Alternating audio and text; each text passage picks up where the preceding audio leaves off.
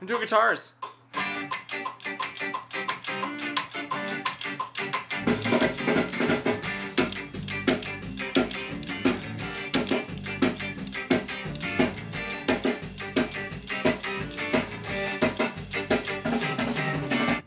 Ska guitar. It looks easy. But it's not. I mean, it is, but it's not. Yeah, people have trouble with it. I think it's easy. But I, I hear it's hard. I don't know. See, it goes. It's, you, you gotta mute right here. You gotta mute, and you gotta mute. You gotta do this. See, watch my fingers. They're gently lifting up a little bit every time. See that? See that? And then my hand, muting, muting. See, it's going. I'll do it slow motion.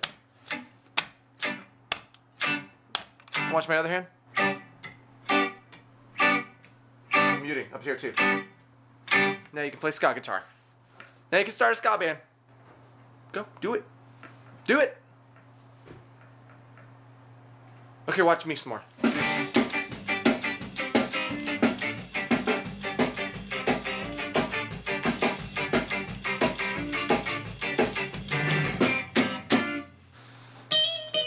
Okay, so now we're doing the.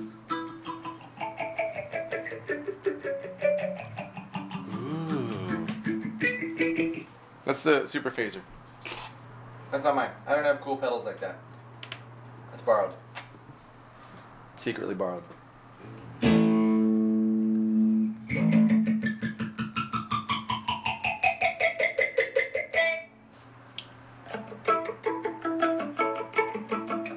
like that. Okay, let's do it.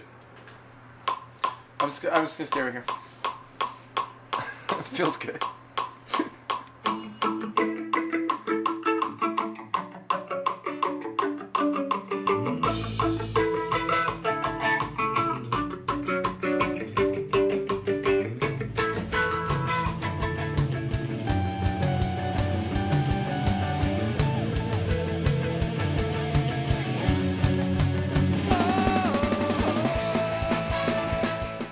Now that you've found a recording studio, take all those instruments and the people and record them.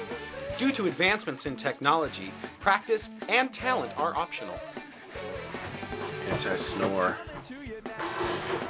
You know. They don't have one that says singing voice spray. Why not? Tastes good. It's minty. Watch from the control room. I'm busy.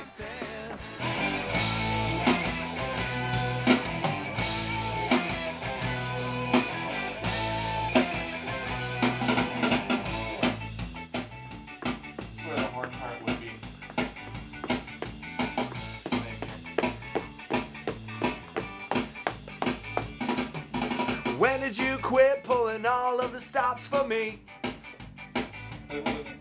When did your 110% become under 50? There you are, phoning it in, going through the motions with an artificial grin.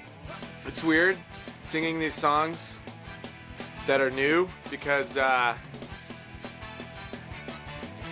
I just wrote the words and I don't really know how they work.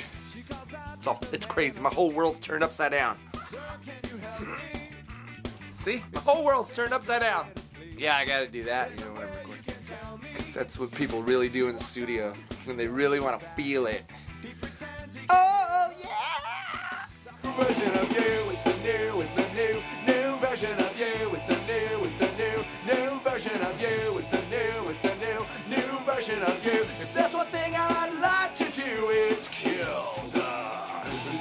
Version of you. That was terrible. Let's meet our horn players. Um, the music is new, and so my feelings on the music are new. Um, some of it's new, some of it's o- new, older new. most records they say you know your band's the band's first record takes them their whole lifetime to make and then the second record takes them six months and then this one's taken 16 years Yeah. I know that the Black Crowes took like five years to make a record, but we totally fucking beat them. on that. These are songs that um, come straight from the heart of uh, Aaron Barrett himself, the black pit of his heart, the um, the, the pitiful maelstrom of, of self-loathing and anxiety that is Aaron Barrett. Um, and hopefully, after we finish this record, his heart will have changed from a, uh cornucopia of death and despair into a beautiful floating palm tree. Butterfly. It's nice to see you. Wait, He's quickly energetic. I don't get to see Scott very often, so I give him a hug each time I see him. So, but I I, don't see stare me at him. either very much. It's, ter- it's terrible. I don't know what to say. Would you say that so far that this recording this experience has been a posi- positive one? I think it's been fantastic. I think this is going to be the best Real Big Fish album ever.